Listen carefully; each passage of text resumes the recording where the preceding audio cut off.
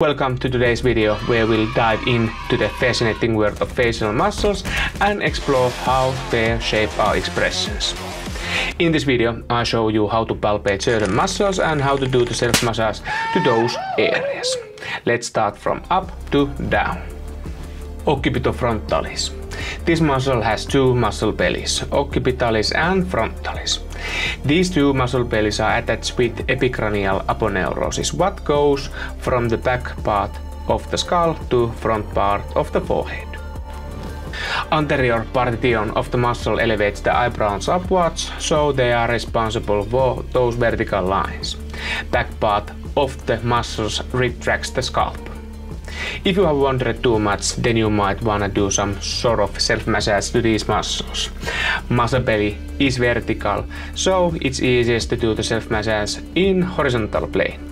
Just find those really tender spots. At the posterior muscle belly, put your fingers top of the ear, start rotating backwards with your finger. Imagine the vertical line, so stay two finger width above or down from the middle line and there you will have the muscle belly. If you wander a bit downwards to the upper cervical area and you are needing tips how to do the maintenance in there, here is a video for the tension type headache, but I will suggest also at the end of this video. Corrugator supercilii. This muscle is really small and it's really close to the eye. This muscle function is to pull eyebrows downwards and closer to the medial line. This expression might come from the pain or misery. Also, this muscle protects the eye from the sunlight when that occurs. Put the tip of the finger in the starting area of the nose and between the eyebrows. Make painful expression and you will feel the muscle tensor under the fingertip.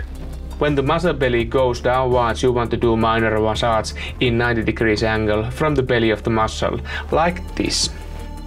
Levator labii superioris. When this muscle is working only at one, then the result will be the Elvis expression or elevation of the nostrils.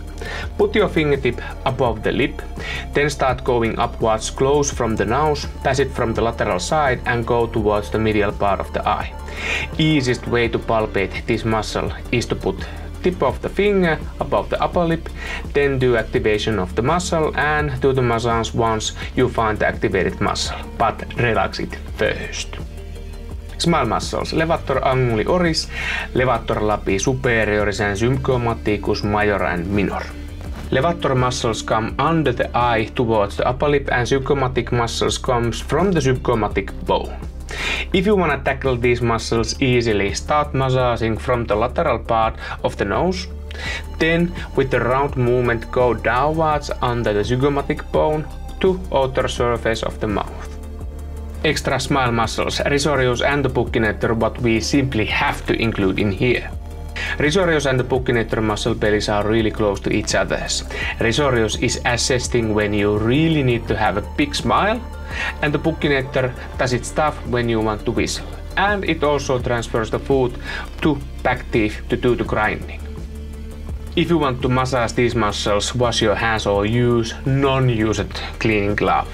Put the big thumb inside of the mouth, aim at the anterior part of the mandibular bone's vertical surface, bend the tip of the finger and start gliding it in muscle and go up and down like a sound wave movement and move towards the lip. Depressor anguli oris. What this muscle does is that it depresses our lip and you will get this kind of expression of sadness of anger.